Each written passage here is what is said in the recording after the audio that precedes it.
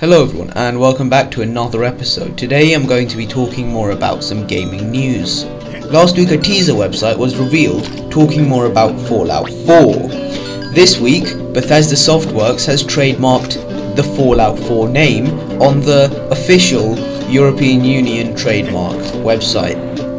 This is hinting towards a new Fallout game as it is long awaited and people are really looking forward to it. I don't know really right now. There aren't many. Uh, in, there's not a lot of information out right now saying whether it will be on PS4 or Xbox One.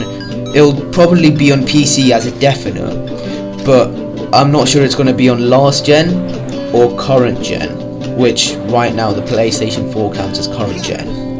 According to an Amazon Italy listing, Lara Croft might be coming to next gen sooner than you think. Tomb Raider might be heading to PlayStation 4 if a listing on Amazon Italy is true.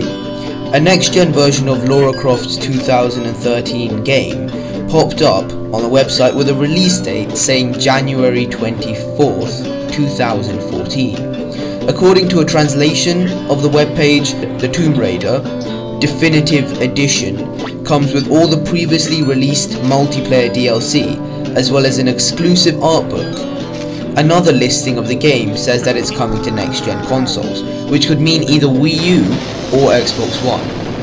Several developers behind Plants vs Zombies 2 have left PopCap Games. In August, they're going to be forming their own studio known as Atom Jack Games. The group consists of lead producer Alan Murray, art director David Ryan Paul, and lead designer Mohan Rajagopalan. Murray's LinkedIn profile confirms the formation of Atom Jack, listing Murray as CEO and co-founder of the studio.